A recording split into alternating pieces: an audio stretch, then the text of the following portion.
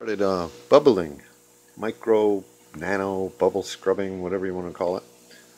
I have this piece of um, rigid airline. Put the wooden air stone that came with the BioCube skimmer on it, along with the pump for the BioCube skimmer. And it's just being held in place by this wire tie here. And we set the height, or as I was told by Mr. Cruz, that you don't want the big bubbles getting into your system. So you put it at a height where the big bubbles aren't going through your return pump.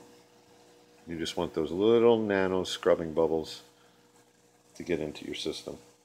So you just adjust for the height until you see the right bubbles coming out.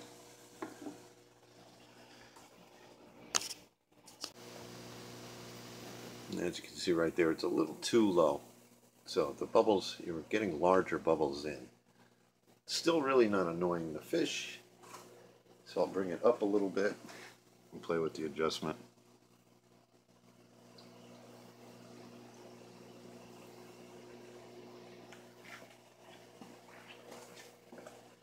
But I have noticed a difference in the hammer and um, just overall clarity of the water.